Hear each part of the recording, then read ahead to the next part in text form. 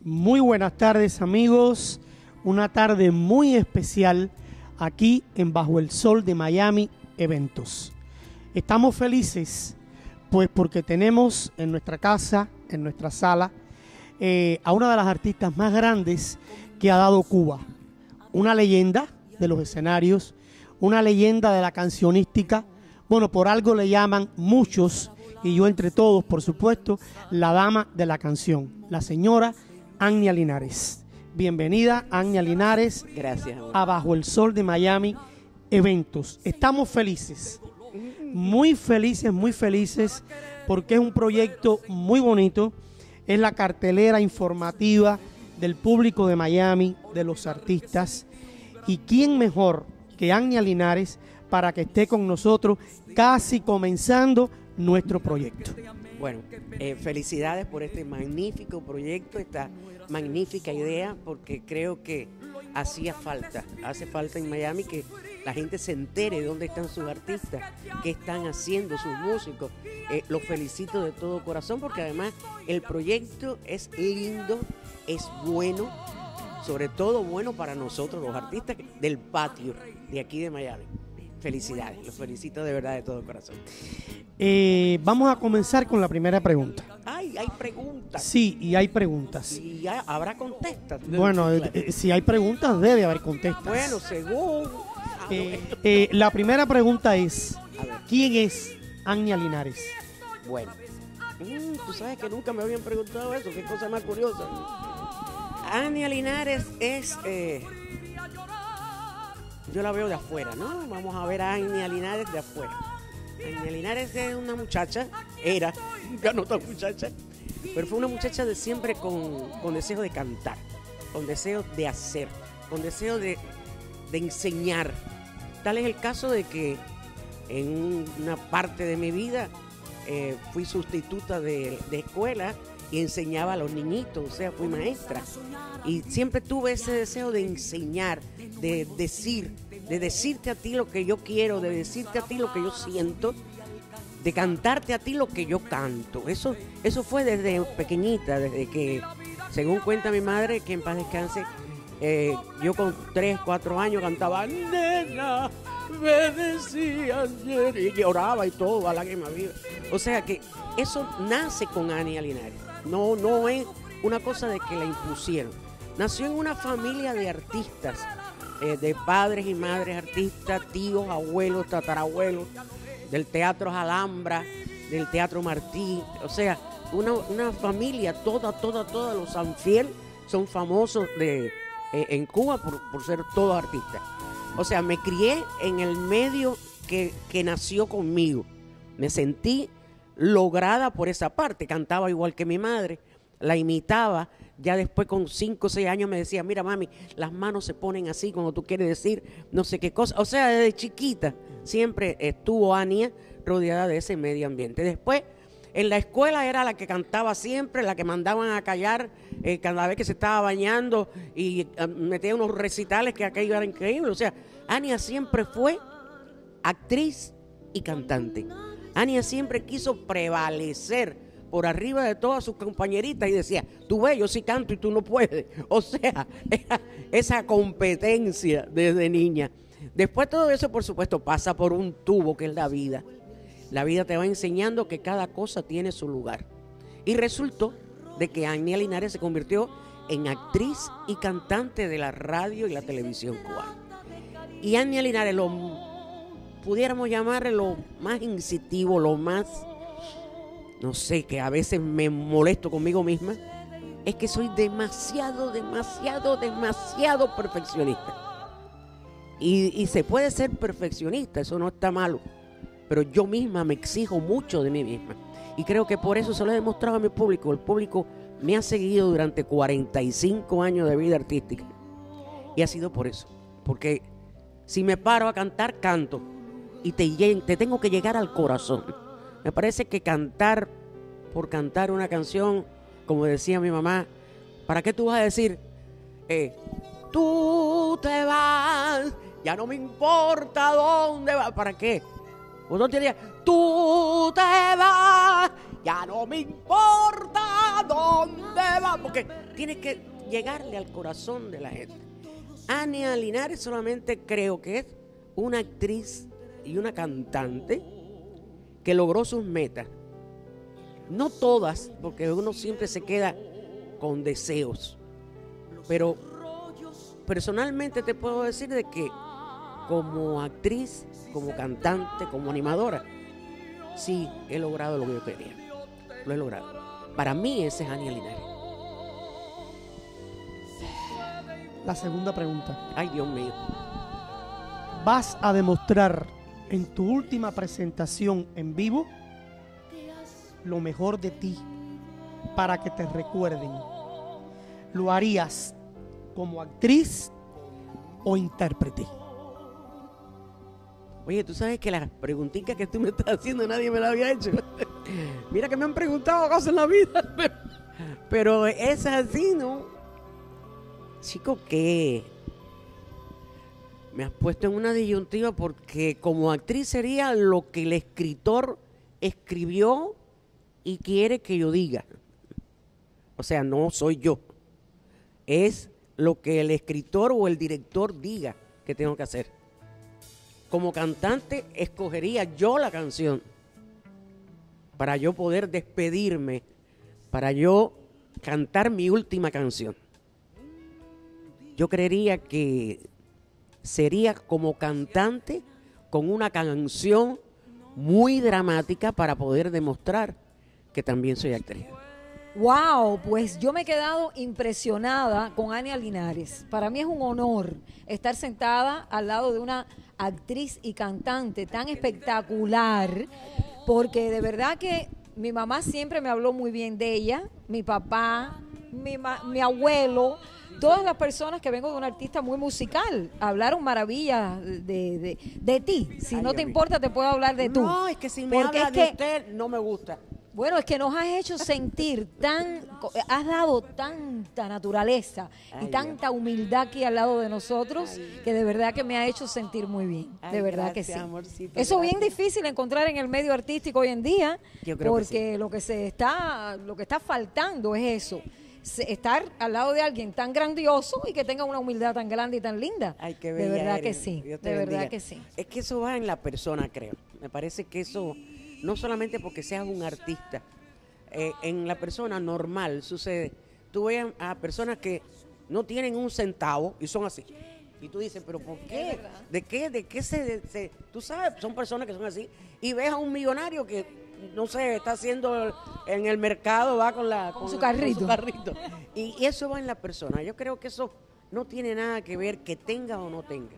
Eso Es el ser te humano. hace hacer más grande espiritualmente, tener esa conexión, de verdad que Por sí. lo menos te hace sentir a mí más tranquila. Más tranquila en todos los aspectos del mundo. Yo he sido una mujer muy realizada en mi vida. He tenido mi hijo, que es mi vida, mi adoración.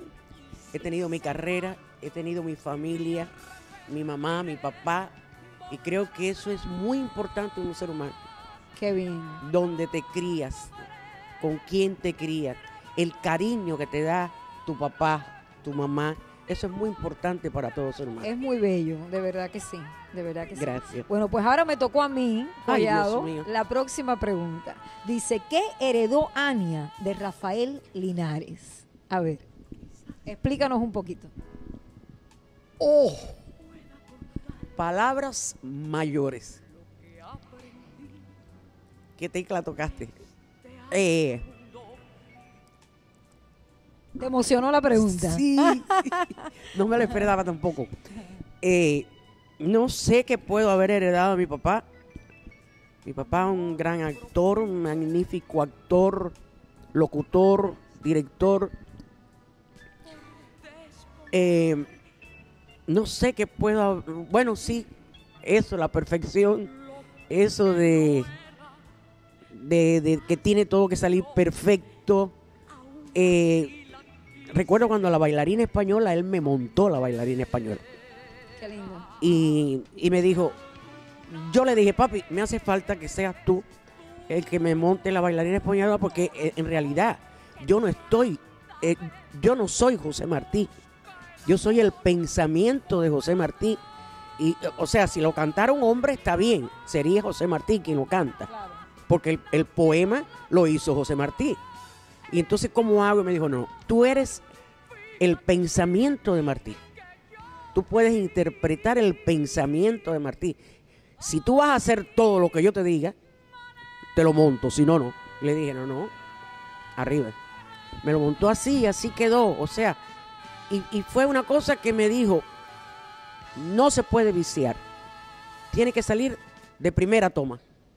Y para ti eso fue tremendo challenge. eh, Y salió de primera toma. qué bien. de primera felicito. toma y, y además, vuelvo y te repito, era muy perfecto. Yo creo que fue eso lo que yo saqué de él. Perfección. Eso fue lo que él me... Yo heredé de mi padre. Lo que es la, la perfección, la eh, que no puede haber un- una cosa fuera de lugar, que no puede, no puede haber una seminota, que no puede haber una... No, no, tiene todo que encajar, tiene todo que estar. Eh, los colores tienen que ir con los colores y las cosas deben ir con las... Creo que eso es una de las maravillosas cosas que heredé de Eso se lo regalaste mucho, no solo a él, pero al público, que por eso te adoran. Porque cada vez que te van a escuchar, dicen, wow, vamos a ir a ver aquello tan perfección, una perfección tan increíble que da Ania Linares. una tarde especial. Definitivamente, eh, Ania Linares nos ha hecho recordar ir en el tiempo. Yo he vivido muchas cosas de, esa que ella- de las que ella ha hablado, fui testigo y todo lo que ha dicho es cierto. Eh, mucha emoción, eh, mucho profesionalismo y sobre todo mucha Ania Linares. Ahora te digo, tenemos Hay más preguntas. Sí, Ay, Dios mío. tenemos aquí cinco preguntas muy fáciles. Ahorita se acaba el programa y tú sigues preguntando. Muy fácil. A ver. Yo te voy a, a dar opciones y me vas a responder una sola. Por ejemplo, Ok. Los comandos del silencio Oh, o deseo bajo los olmos. deseo bajo los hombros. La Lupe u Olga Guillot. Oh. Las cantantes. Eso La- es trampa. No, eso es la Eso, verdad. eso es trampa. Eso es la verdad. Eso es trampa. Amor a oscuras o rodeada de luces. Bueno, te diré. Antes era con muchas luces. Ahora. Imagínate.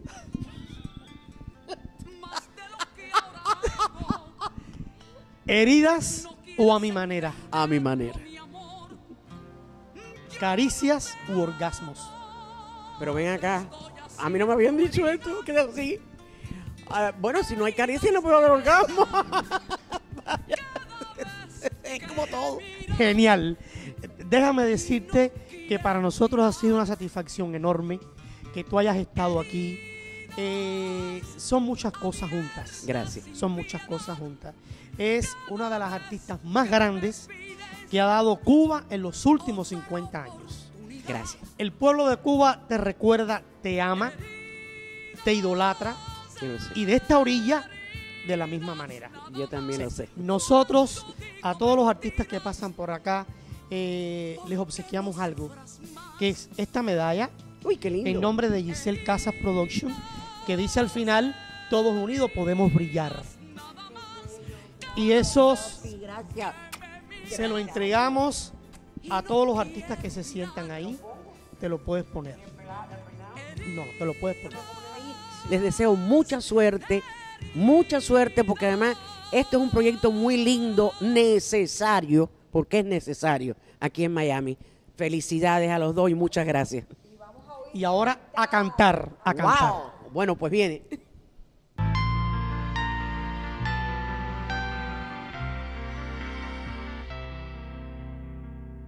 venderé,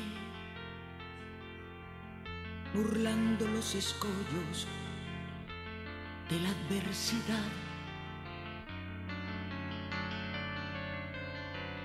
Vendré envuelta entre las nubes y el rumor del mar. Sin implorar, vestida con las fuerzas que el amor me da, haciendo mis sueños.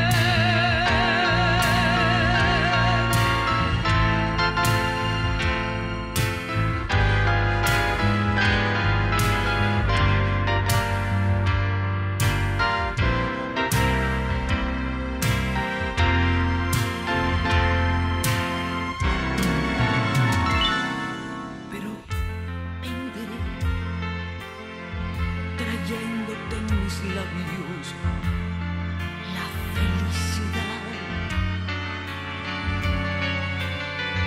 Venderé